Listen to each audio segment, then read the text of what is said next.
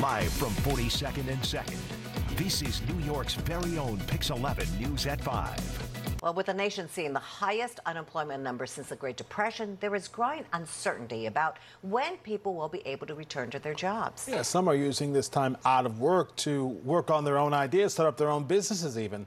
In tonight's rebound, Pix 7 Shirley Chan has tips on how you can become your own boss.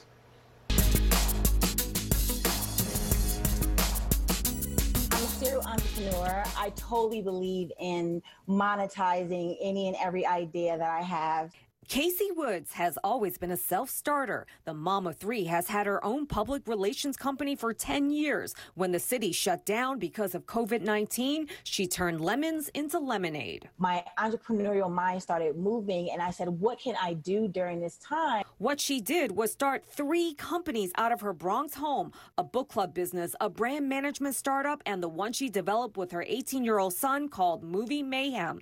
Born out of an idea being in tune with the current climate climate and recognizing people's newfound desires to go to a drive-in theater. We said, you know, maybe that's something we can do in our own backyards. And that's when we started thinking about the movie screening company. Movie Mayhem is an outdoor movie rental business. Kasey and Traylon will come to your backyard or any outdoor area and set up a movie viewing experience for you and your group in a social distancing manner. So we just had to be very aggressive, understanding that we have a finite amount of time to actually do this company because how often how often are people doing movie screenings in the winter? They charge a flat fee of $500 that includes everything, setup and removal of the 16-foot inflatable screen, sound speakers, even lighting. Kasey had to purchase the equipment and she did so using her unemployment and stimulus checks. Her advice don't wait. But it's not about who does it first, and who does it best. Ethan Slotkin owns the Shadow CEO, a company that helps develop business models for entrepreneurs. He says when it comes to a startup, there are two core paths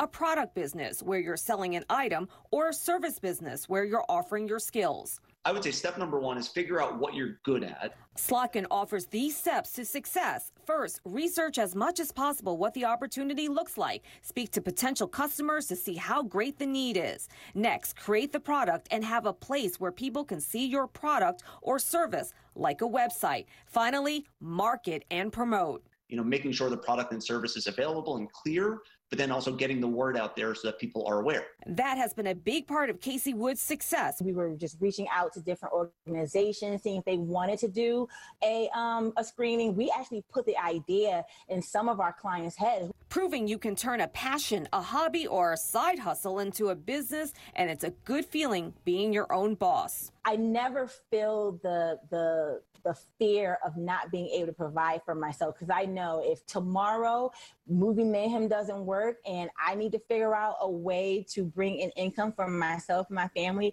I can come up with something that works. Shirley Chan, Pix 11 News. Very impressive.